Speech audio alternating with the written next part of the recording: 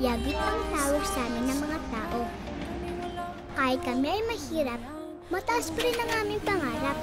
Kahit marami kaming problema, lagi pa rin kaming tumatawa. Nandito na ang mga bago nating kaibigan. Si Aliza, si Ding, si Tomtom, si Jocelyn. Sapat, sapat! Na! Yagi, ngayong lunes na.